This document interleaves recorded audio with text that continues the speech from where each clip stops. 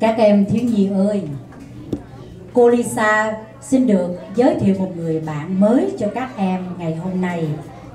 Người bạn này đã không có đi chơi mà dành thời gian đến chùa Phật Quang để đóng góp tiếng hát giúp vui cho các em thiếu nhi ngày hôm nay.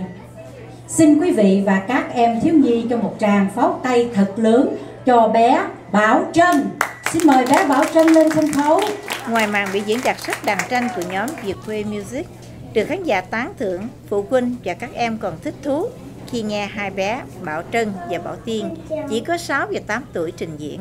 Quý thầy và, và quý vị và các bạn, em tên là Bảo Tiên, con 6 tuổi, hôm nay con sẽ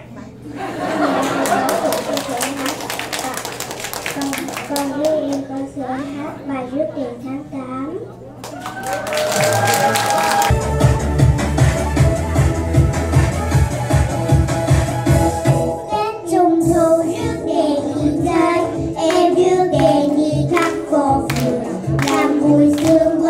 với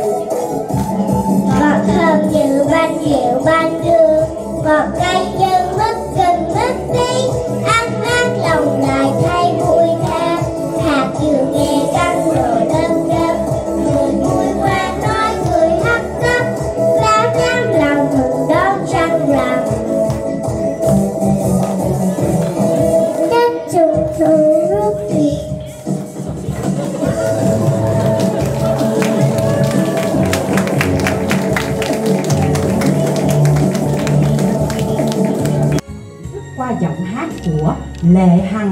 Xin quý vị cho Lệ Hằng một tràng pháo tay thật lớn. Xin cảm ơn quý vị.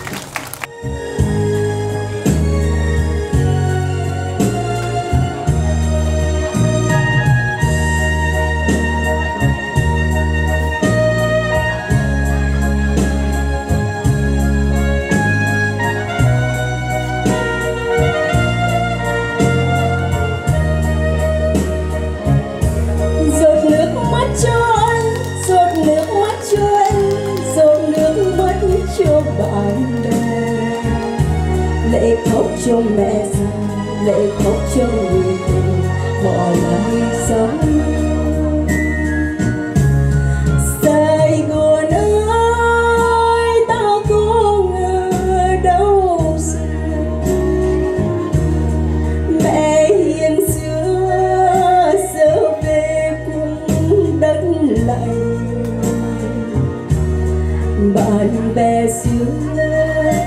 Giờ phương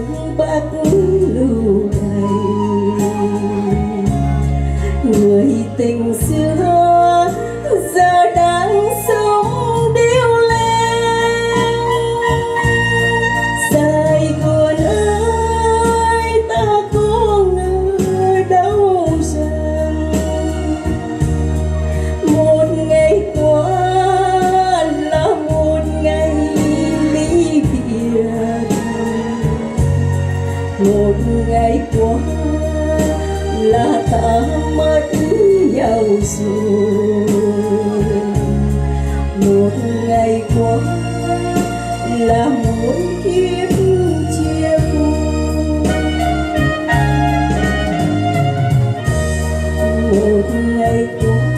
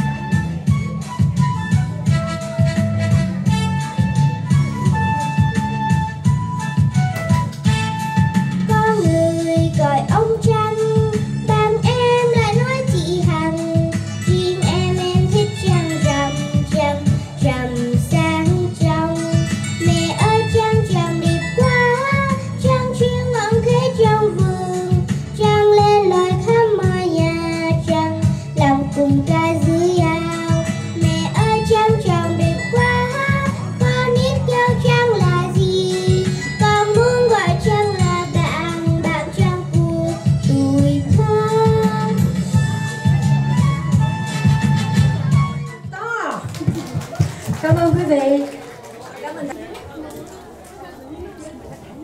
Con xin cảm ơn thầy. Hồi hộp quá hả? Hồi hộp quá quên hết rồi hả? Nó có con um... ok. Nó có cái con lớn. Nó có cái um, con rồng. Xong một sư tử. Wow. Câu này tôi nghĩ là khó mình trả lời được. Rất là hay. Rồi cảm ơn em nha. Sau phần đố vui để học, Hội đồng Quản trị Chùa Phật Quang đã tặng quà cho quý phụ huynh và các em. Buổi lễ hội trăng rằm do Chùa Phật Quang tổ chức đã kết thúc vào lúc 8 giờ tối cùng ngày với lời chúc từ vị hội trưởng Tuệ Minh Hoàng Văn Huệ nhờ phóng viên của đài Apple TV gửi đến quý khán giả.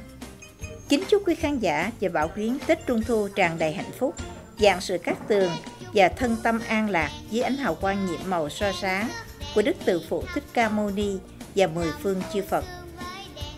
Chúng tôi xin cảm ơn quý khán giả vừa xem phóng sự do phóng viên của đài Apple TV 55.4 tường trình từ chùa Phật Quang ở vùng South Texas, Houston. Hẹn quý khán giả vào các phóng sự kế tiếp.